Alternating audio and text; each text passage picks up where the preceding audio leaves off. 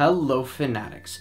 With our review of Fighting with My Family coming out, we decided to share a few films to watch if you liked it. Enjoy. Glow is a sports dramedy series created by Liz Flahive and Carly Mensch, starring Alison Brie, Marc Maron, and Betty Gilpin.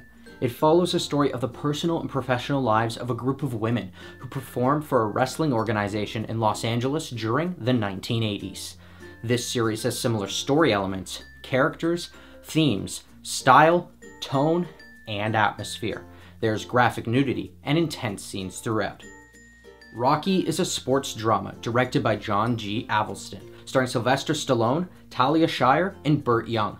It follows the story of a small time boxer who gets a supremely rare chance to fight a heavyweight champion. This film has similar story elements, themes, tone, and atmosphere. There are no unsuitable scenes. The Wrestler is a sports drama directed by Darren Aronofsky, starring Mickey Rourke, Marisa Tomei, and Evan Rachel Wood. It follows the story of a faded professional wrestler who must retire but finds his quest for a new life outside the ring a dispiriting struggle.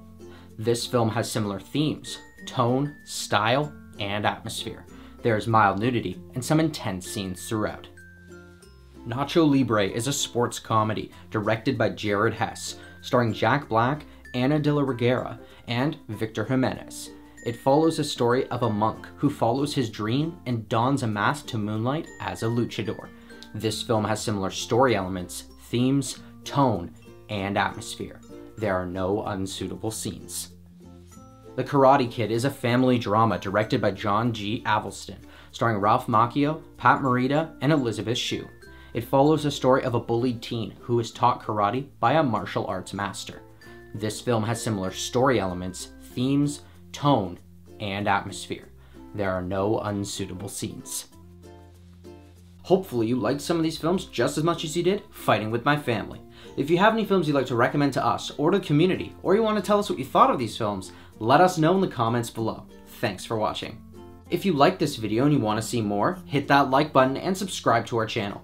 Check out our latest Film Fanatic review where we discuss the film Fighting with My Family. Don't forget to follow us on our social media. And until next time, Fanatics, keep it real.